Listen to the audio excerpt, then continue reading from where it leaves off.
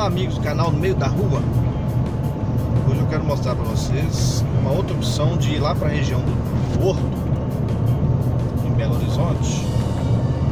No caso aqui, por exemplo, vindo de Contagem, Betim é, O trajeto normal seria cortar Belo Horizonte ao meio, passar pelo centro Descer a Avenida dos Andradas ou pela floresta e sair lá no Horto é, essa rota também serve para quem quiser ir para Independência.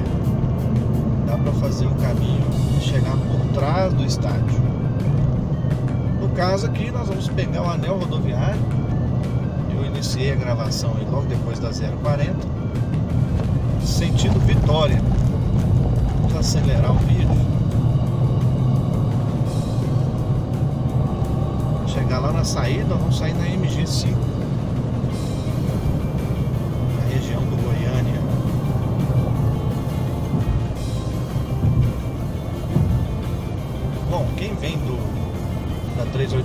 Norte, né, vem da região de Patim, Valadares, é, João Molevade, do Espírito Santo, para ir para essa região do Horto, melhor é entrar na Cristiano Machado, que não tem uma saída ali, onde nós vamos sair na MG5.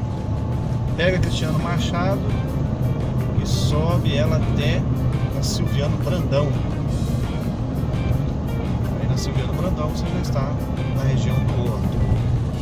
Mas essa opção aqui, quem vem de Contagem, então Netinho, outros lugares, descendo, descendo sentido Vitória, é uma opção mais prática mais rápida para você chegar nessa região aí do Santo Inês, do Horto, Goiânia, do que cruzar o centro de Belo Horizonte inteiro.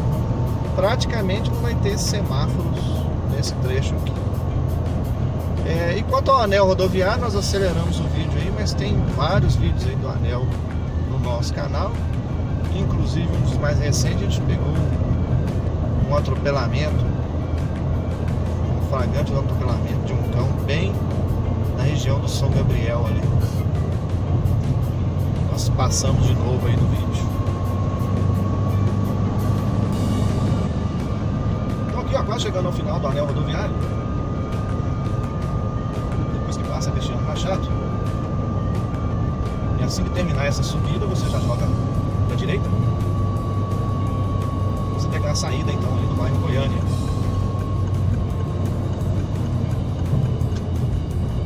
Cuidado com. E nós vamos pegar aqui, e registrar nosso canal aí, é MG5. está vendo aí no fundo é o final do anel rodoviário, região do bairro Goiânia, um pouco já de Sabará, essa região aqui. Aqui ó, nós saíms, se você errar aquela primeira entrada ali, complicou, porque fecharam essa última entrada aqui, provavelmente devido a um acúmulo de acidentes aí. Não faz isso que esse cara fez não parar bem na curva aqui, porque o pessoal vem do anel em alta velocidade. Sem extrema necessidade. Passagem pedestre, inclusive, até um pouco mais embaixo. Bom, então aqui já é a região do Goiânia. Essa já é a MG5. A nossa esquerda aqui ó, é o bairro Goiânia.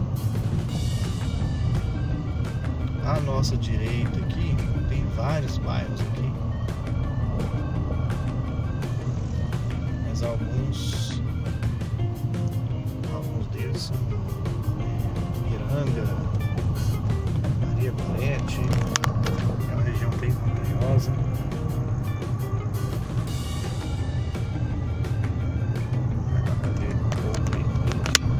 A MG5 é no vale, aqui embaixo. E a MG5 vai nos dar a ligação aqui ó, na MG não, na saída, né? De Sabará. Principal saída de Sabará descida nacional, né? Saindo aqui, ó, a entrada principal do bairro Goiânia. É aqui.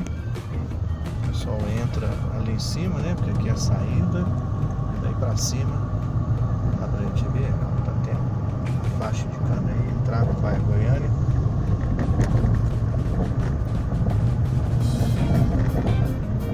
Essa região aqui, pedestre quase não tem vez. Então passem aqui muito acelerado, não vai com calma, porque às vezes tem muita gente atravessando as ruas aí, atravessando a rodovia, inclusive veículos, né? Cruzando, tentando entrar no bairro, tentando sair do bairro. Aí uma visão morros aqui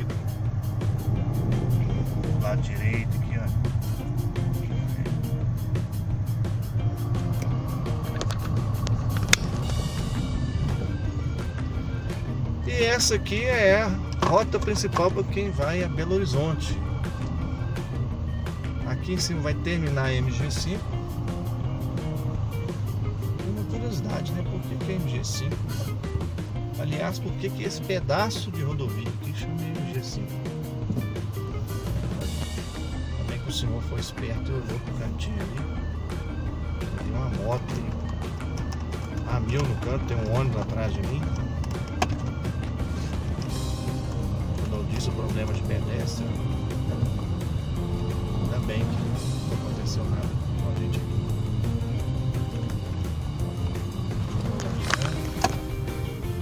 Região do Goiânia.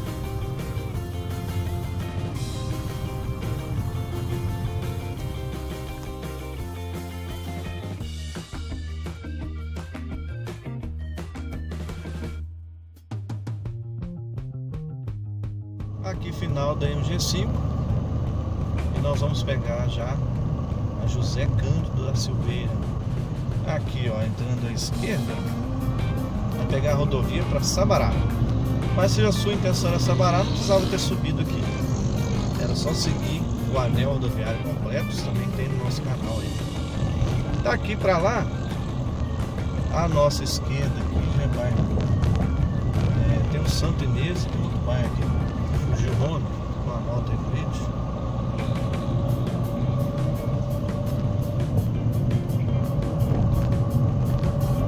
E a Avenida José Cândido Silveira, eu ainda quero filmar ela completa e uma oportunidade pra gente. Eu acho ela muito interessante. Ela tem esse enorme canteiro central muito verde.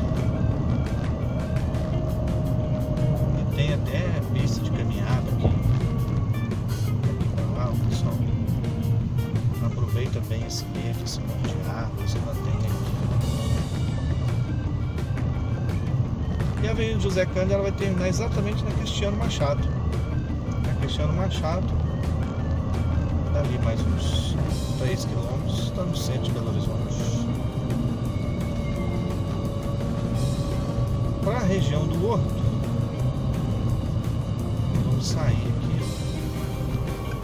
eles tiveram que fazer umas adaptações aqui por causa da passagem do metrô.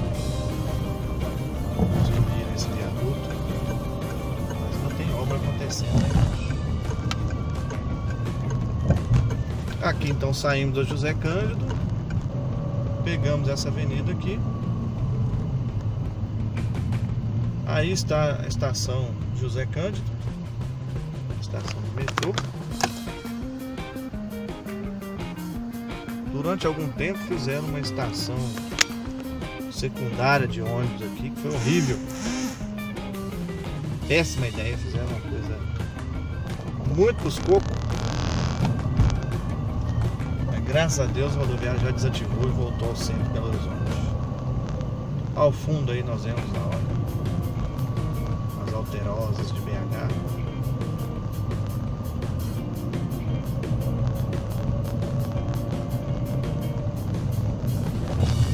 Bom, aqui então ficou fácil. Para quem vai ao Horto, à Independência, é só seguir em frente aqui essa rua que ela vai sair exatamente na Silviano Brandão, ali pertinho do estádio Independência. Quem vai para a região do Nova Vista, Boa Vista, Santo Inês, entra à esquerda aqui embaixo. E eu vou encerrando esse vídeo por aqui. Hoje meu objetivo é vir aqui na região do Senai, Senai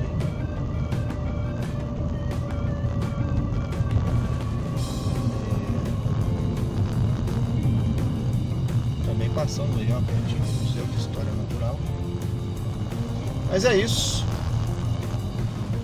Deixa aí seu like no nosso canal, curta Se você tiver dúvidas, pode escrever para nós. E alguma rota aí, alguma coisa que você tiver.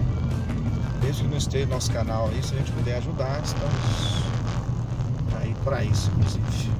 Valeu, um abraço, até mais.